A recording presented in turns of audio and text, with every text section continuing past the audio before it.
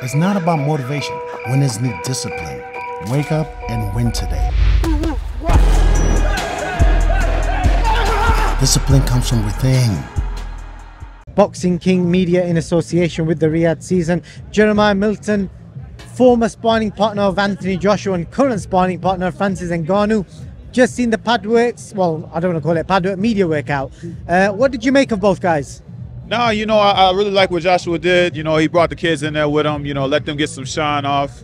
Uh, both guys look look sharp. They look ready.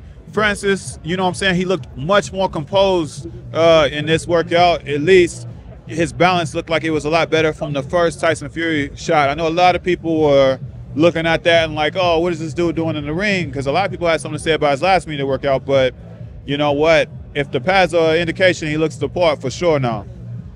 I'm very curious, Jeremiah. You've obviously done many rounds with uh, Francis. He was aiming for the body. I know you can't, out respect, give away what the plans are, but them body shots that he was landing on the uh, the body bag. What are they like if you if you take one on your ribs? you know what? I don't know exactly what their game plan is. I really don't, but I mean they're hellacious. You know what I'm saying? Uh, I feel like the man has just got heavy hands regardless, so you don't want to feel that to the body for too long.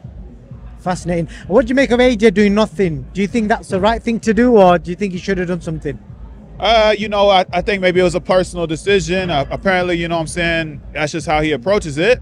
So, uh, yeah, I think it was good. You know, I always have to get out there and, you know, stretch out for the people. Switch it up, man. You know, let those kids have some shine. That was a beautiful thing. Um, you know, he's ready. Look at him. He's in shape. He's primed. Both guys, at this point, obviously, you've not had a fight on this sort of scale yet, but you know what it's like three, four days before. Obviously, you got all the media here both guys, you know, AJ looks like he's switched on now. Like it looks like he's he's gone away from that guy that was smiling a couple of days ago. Yeah, yeah, definitely. The temperature has changed a bit, huh? Like uh, you could tell he didn't really look off into the distance. You know what I'm saying? He come out here just focused on the ring, ready to get in. I mean, he already knew he wasn't gonna hit the pads, but like, you know, he's in his tunnel.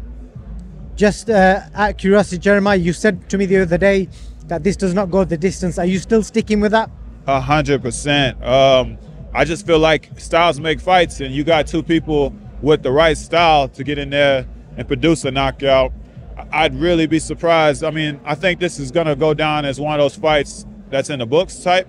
You know what I'm saying? So make sure you tune in stuff. Any news on yourself before I let you go? Because I know a lot of fans are intrigued to follow your journey as well. And, you know, when can they see uh, the guy with one of the best boxing nicknames back out in the ring, uh, Dreamland Milton? That's it, man. Dreamland is coming to you, inshallah, soon. You know, um, I'm out here. I'm talking with a couple of people right now. We're trying to make things happen.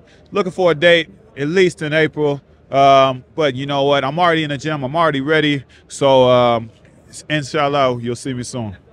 All the best, Jeremiah. Thank you for your time. Listen, I got a question for you. Where can discipline take you?